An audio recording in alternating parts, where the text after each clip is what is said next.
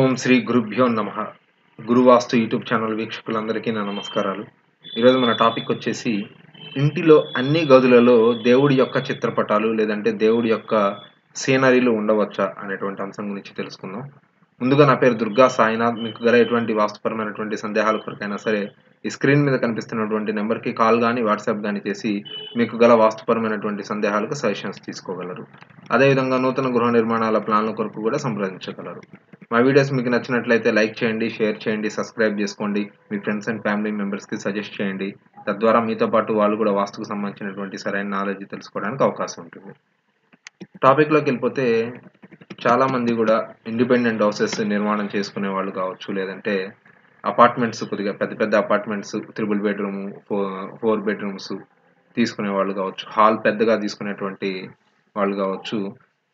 ఇంటికి ఎంతైతే ఖర్చు పెడుతున్నారో దాదాపుగా అంత అంతకంటే ఎక్కువ అమౌంట్ ఇంటీరియర్కు కూడా ఖర్చు పెడుతూ ఉన్నారు.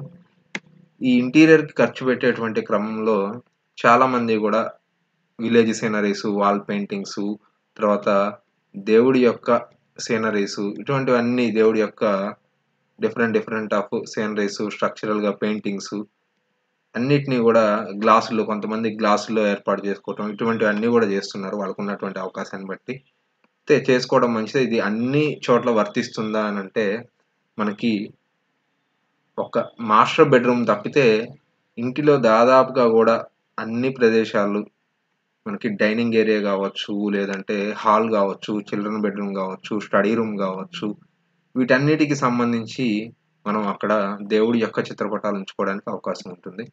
చాలామంది బెడ్రూమ్స్లో కూడా మాస్టర్ బెడ్రూమ్లో కూడా దేవుడి యొక్క చిత్రపటాలు ఈ విధంగా సీనరీస్ డిఫరెంట్ డిఫరెంట్ స్ట్రక్చర్స్లో వాళ్ళకి నచ్చినటువంటి విధంగా తీసుకుంటూ ఉంటుంటారు. ఎట్టి పరిస్థితుల్లో మాస్టర్ బెడ్రూమ్లో మాత్రం దేవుడి యొక్క చిత్రపటాలు ఉంచడానికి అవకాశం లేదు. మాస్టర్ బెడ్రూమ్ యాక్టివిటీ వేరు. మనకి అది స్పిరిచువల్గా ఉండేటువంటి రూమ్ కాదు. కాబట్టి ఎట్టి పరిస్థితుల్లో అక్కడ మనకి దేవుడి యొక్క చిత్రపటాలు ఉండడానికి అవకాశం లేదు. ఒకవేళ మీకు కావాలి అని అనుకుంటే రాధాకృష్ణుల యొక్క ఫోటో పెట్టుకోవచ్చు. చాలామంది పెట్టుకుంటున్నారు. సీనరీస్ పెట్టుకుంటున్నారు. సరే మరి వీరు దేవి దేవతలు కాదా అని చెప్పి కూడా మీకు డౌట్ రావచ్చు.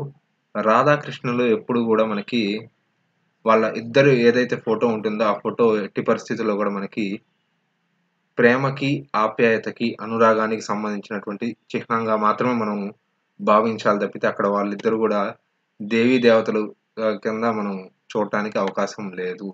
కాబట్టి మీరు మాస్టర్ బెడ్రూమ్లో ఒకవేళ ఏదైనా ఫోటో తీసుకోవాలి మంచి సీనరీ తీసుకోవాలి అని అనుకుంటే రాధాకృష్ణుల యొక్క సీనరీ మీరు తీసుకోవచ్చు. కొంతమంది ఈ విధంగా స్టడీ రూమ్స్లో కావచ్చు డైనింగ్ ఏరియాస్లో కూడా వాళ్ళకు ఉన్నటువంటి అవకాశాన్ని బట్టి దేవుడి యొక్క చిత్రపటాలు ఉంచుకోవడానికి ప్రయత్నిస్తుంటుంటారు మీరు మీకున్నటువంటి అవకాశాన్ని బట్టి చేసుకోవచ్చు. అయితే కొంతమంది బాత్రూమ్ గోడలకి కూడా డైనింగ్ దగ్గర ఒక బాత్రూమ్ ఏదో ఉంటుంది. ఆ బాత్రూమ్ గోడకి కూడా దేవుడి యొక్క చిత్రపటాలు పెడుతూ ఉన్నారు. అటువంటివి మాత్రం చేయకండి. మీకు అవకాశం ఉన్నంత వరకు మాస్టర్ బెడ్రూమ్లో విలేజ్ సీనరీస్ ఏవైతే ఉన్నాయో అవి ప్రిఫర్ చేయండి. ఈ విధంగా ఇక్కడ మీరు అబ్జర్వ్ చేస్తే స్ట్రక్చరల్గా మీకు లుక్ వచ్చే విధంగా మంచి మంచి సీనరీస్ చాలా ఉంటూ ఉన్నాయి. వాటిని వే వేటినైనా సరే మీరు ప్రయత్నించండి కానీ దేవుడి యొక్క చిత్రపటాలు మాత్రం ఉంచడానికి ప్రయత్నించొద్దు.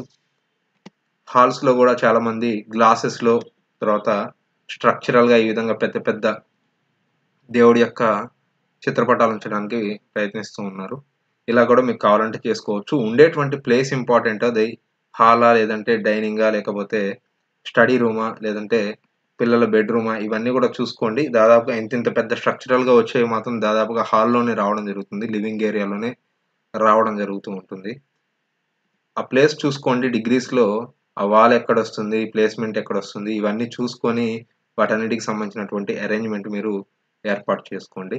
తర్వాత ఈ సీనరీస్ ఏవైతే దేవుడి యొక్క సీనరీస్ ఈ విధంగా కటింగ్ కటింగ్ ఉన్నటువంటి సీనరీస్ ఏమున్నాయి ఏవైతే ఉన్నాయో వాటిని అవాయిడ్ చేయండి. దాదాపుగా సింగిల్ ఫ్రేమ్లో ఉండేటువంటి దేవుడి యొక్క చిత్రపటాలను మాత్రమే మీరు ప్రిఫర్ చేయండి తప్పితే ఈ విధంగా కటింగ్ కటింగ్స్ ఉన్నటువంటి దేవుడి యొక్క సీనరీస్ మీరు ఎట్టి పరిస్థితుల్లో కూడా ప్రిఫర్ చేయకండి.